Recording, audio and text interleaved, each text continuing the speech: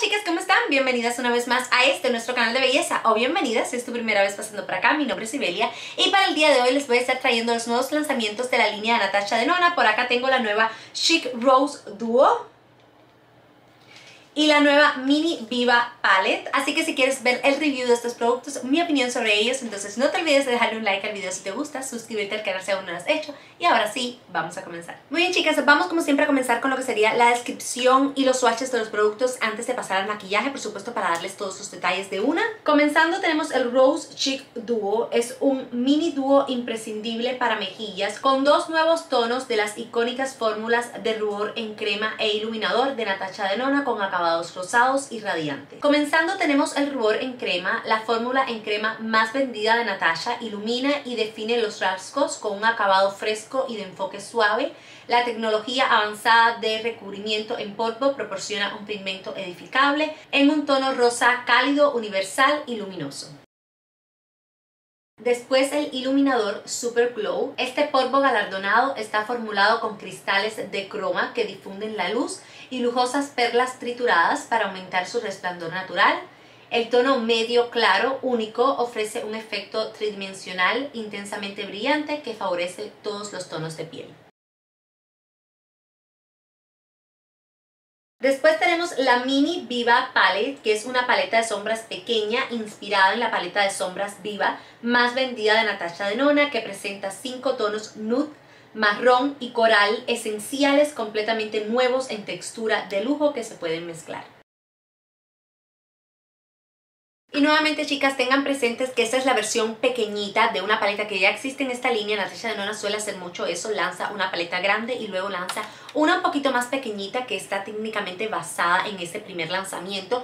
Hay en ocasiones que hay sombras que se encuentran en ellas, pero en este lanzamiento en específico estas son cinco tonalidades completamente nuevas, o sea que no las van a encontrar en la paleta viva ya existente si la tienen, pues igualmente estas tonalidades no se encuentran en ella.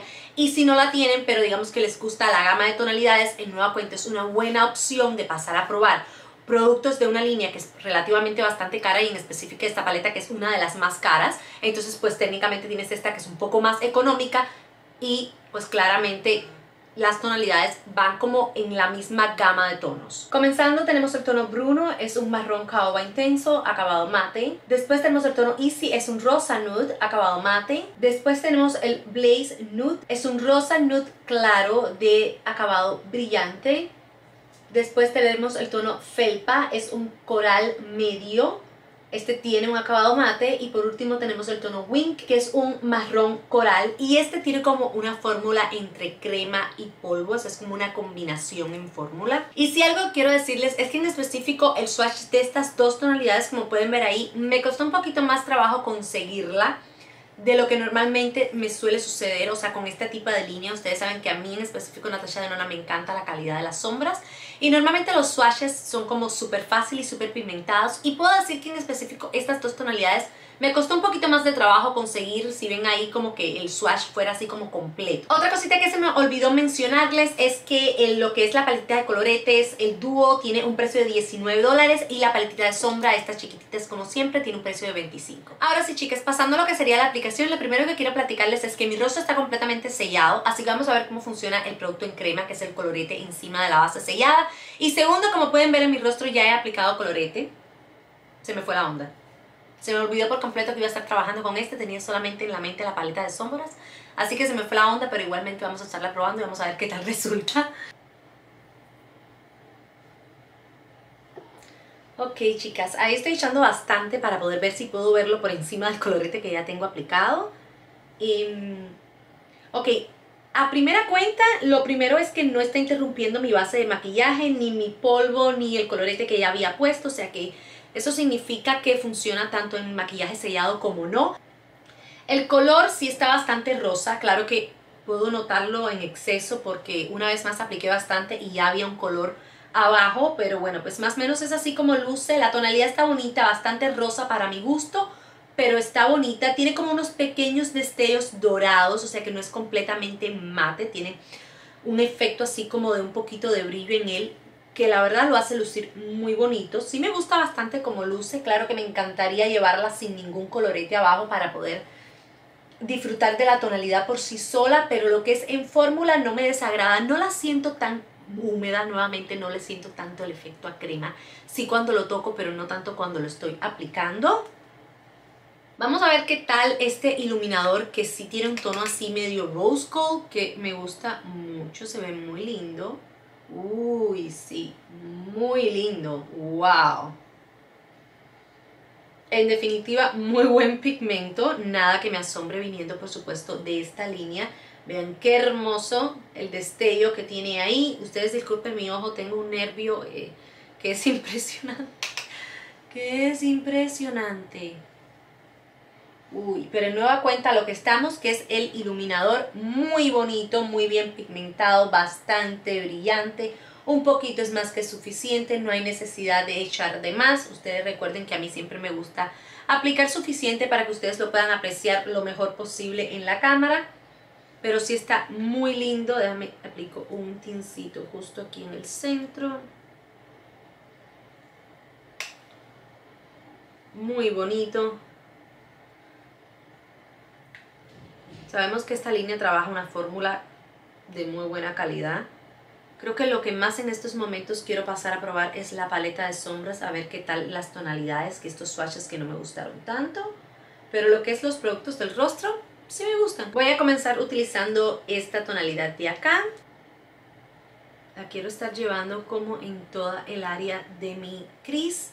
Este fue uno de los tonos que sentí como que el swatch no fue mi favorito. Sin embargo, tiene buena transferencia y luce bien en el ojo. La tonalidad está muy bonita. Voy a pasar a tomar este tono de acá que es bien oscurito. Un maquillaje bien sencillo, pero creo que ustedes ya saben los tipos de maquillaje que a mí me gustan con tonos relativamente neutrales. Estos van tirando a coral, pero siguen siendo tonos neutros, que en lo personal siento que son los tonos como que más llevaderos, así como para el diario, incluso para maquillajes muy elegantes. Sí les puedo decir, chicas, que yo con tanta experiencia y conocimiento que tengo en específico con esta línea, porque siempre les he dicho que es de mis favoritas cuando se trata de sombras. Esta tonalidad oscura me está tomando un poquito más, o sea, algo que me encanta de las paletas de sombra de Natasha Denona es la facilidad con que se difumina, la facilidad con que trabajas las tonalidades mates, es muy fácil mezclarlas entre sí, unificar los tonos entre sí, crear transición entre ellos. Eso es lo que yo siento que hace una fórmula tan buena, porque no tienes que ser una maquillista profesional, puedes estar comenzando en este mundo y te va a ser muy fácil manejar eh, las sombras de esta línea. Y como me pasó en el swatch, siento que este tono en específico, ya sí mezclando más tonalidades entre sí, puede costar un poquito difuminarlo, mezclarlo, unificarlo en los tonos hay que trabajarlo un poco más, no es tan fácil como otros. Y esto pues pudiera hacerlo lucir a lo mejor un poquito parchoso si no se trabaja bien trabajado. Que hay que trabajarlo mucho más que otras fórmulas, otras paletas de esta misma línea. Ahora, pigmento tiene, sin duda ninguna.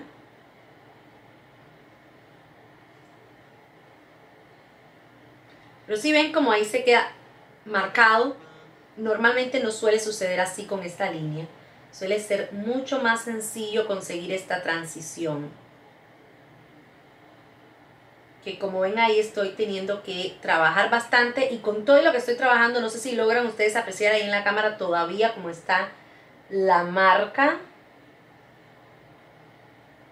Pero bueno, también ya soy yo siendo súper crítica porque a mí me toca eh, ir en todo, todo, todo tipo de detalle, porque bueno, pues es mi trabajo.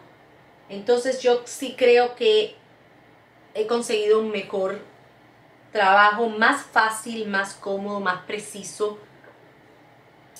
con esta línea. Voy a pasar a tomar este tonito de acá, que es el, como les dije, que si tuviera como un poquito en crema, o sea, se siente una fórmula entre polvo y crema. Lo voy a estar aplicando en mi línea inferior.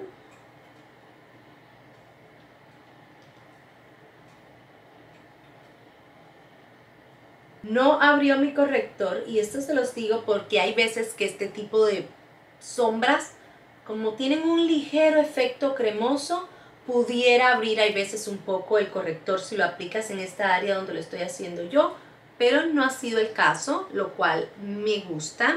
Voy a pasar a tomar, antes de tomar mi tono brillante, este tonito coral que me queda por aquí, que es el otro tono que me falta por probar, como para probar todos los tonos en la paleta. Y quiero pasar a aplicarlo justo acá encima de estos dos tonos que puse previo, como para difuminar bien los bordes aquí de las tonalidades y aprovechar todos los tonos. Y ahora sí, por último voy a pasar a tomar nuestro tono brillante, que cabe decir es el único que hay en la paleta. No es algo que me desagrade, aunque siento que miren, estos dos tonos no son iguales, pero hay cierta similitud entre ellos, igual que aquí tenemos dos tonos marrones que no son iguales, pero hay cierta similitud. Podían haber deshecho de alguno, por ejemplo, de alguno de estos dos más claros y haber puesto otro tono brillante. Pero bueno, pues ya esto es lo que tenemos. Ok, muy bien. Sí, esta tonalidad se aplica hermosísima. Los tonos brillantes de esta línea son formidables. Ustedes pueden ver ahí qué lindo luce. Lo voy a estar llevando en todo mi párpado. Voy apoyarme de una brochita para llegar a todas las esquinas, a todos los bordes. Algo que me gusta de esta línea es que no tienes que preocuparte por humedecer la brocha porque siempre consigues ver el brillo y el pigmento de este tipo de tonalidades, ustedes lo están viendo ahí. Y ahora voy a tomar, de hecho podía haberlo hecho con el mismo tono brillante y aplicarlo en todos lados, pero voy a tomar el iluminador, como está tan lindo, y lo voy a estar aplicando justo aquí como en el inicio para dar ese toque de brillo extra en la zona, lo llevo un poquito hacia abajo y también en el arquito. Muy bien chicas, maquillaje terminado, hice un delineado, apliqué pestañas postizas y eso es todo. ¿Y qué tengo para decirles? Miren, lo que es la paletita de rostro, eh, el iluminador me encantó, el brillo que da es formidable luce muy bonito, definitivamente siempre hay que utilizar menos con este tipo de productos porque si no es súper intenso, pero si es lo que te gusta, está formidable y el colorete fuera de lo que es la tonalidad, que ustedes saben que los tonos así como rositas no son mis favoritos, tampoco me molestó, sí me gusta como luce, como les dije quiero verlo sin colorete abajo, recuerden que ya yo tenía aplicado, y lo otro que me gusta es que como tiene un toque medio dorado, porque tiene como yo les veo un brillito dorado ahí, no es completamente mate, eso hace que también la tonalidad me guste un poquito más y lo que es la fórmula formidable, así que en esto no tengo ningún complaint. Ahora pasando a lo que sería la paletita de sombras, chicas, dejando a un lado por un instante si es la gama de colores, si es la historia de colores que estás buscando o que te gustan. Yo sentí que me costó un poco más trabajarla, en específico los tonos mates, por supuesto lo eché a notar un poquito más con este tono oscuro cuando hice la combinación, o sea que me costó un poquito conseguir esa difuminación entre los tonos uniformes. Sentí que por un instante puede serse, verse un poquito parchosa, como les mencioné, y tienes que trabajarla un poco más. No es algo que se quede, o sea, definitivamente consigues la difuminación, pero tienes que trabajarla un poco más de lo que siento que llega a ser necesario con otras paletas de esta misma línea. Entonces, si no eres nueva con esta línea, vas a notar la diferencia. A lo mejor si no la conoces, no te percatas. Nuevamente, si ya estás familiarizado con la línea, si como yo eres amante a la línea y quieres tener esta paleta en tu colección, no me parece para nada ningún inconveniente. Creo que vas a tenerla que trabajar un poquito más, pero si estás familiarizada con el mundo de maquillaje no va a ser nada que digamos que sea complicado para ti. Ahora, yo diría que para una persona que está comenzando en este mundo o que está comenzando con esta línea, no sería yo la paleta que más les recomendara. Incluso de este mismo tamaño, así pequeñitas, incluso con estos mismos tonos relativamente neutrales, creo que hay otras paletas en la línea que van a trabajar mucho mejor. Ahora sí, mis chicas, esto sería todo para el video del día de hoy. Espero como siempre sus opiniones en los comentarios y ahora sí, nos vemos en nuestro próximo video.